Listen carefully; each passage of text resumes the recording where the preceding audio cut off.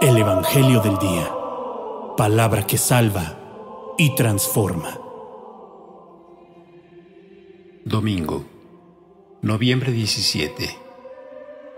En aquel tiempo, y como algunos, hablando del templo, decían que estaba adornado con hermosas piedras y ofrendas votivas, Jesús dijo, De todo lo que ustedes contemplan, un día no quedará piedra sobre piedra, todo será destruido.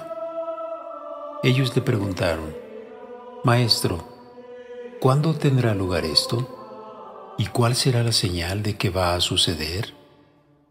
Jesús respondió, Tengan cuidado, no se dejen engañar, porque muchos se presentarán en mi nombre diciendo, Soy yo.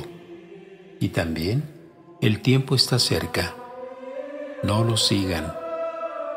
Cuando oigan hablar de guerras y revoluciones, no se alarmen. Es necesario que esto ocurra antes, pero no llegará tan pronto el fin. Después les dijo, se levantará nación contra nación y reino contra reino. Habrá grandes terremotos, peste y hambre en muchas partes.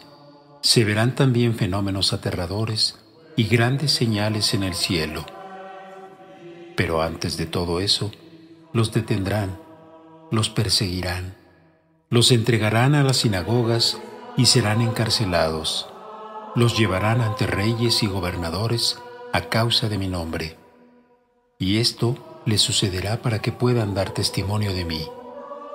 Tengan bien presente que no deberán preparar su defensa, porque yo mismo les daré una elocuencia y una sabiduría que ninguno de sus adversarios podrá resistir ni contradecir. Serán entregados hasta por sus propios padres y hermanos, por sus parientes y amigos, y a muchos de ustedes los matarán.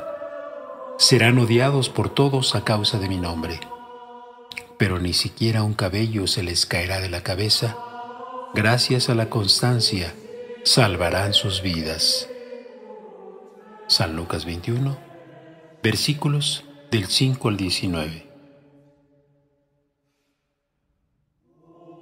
San Juan Diego Radio, el mensajero de María.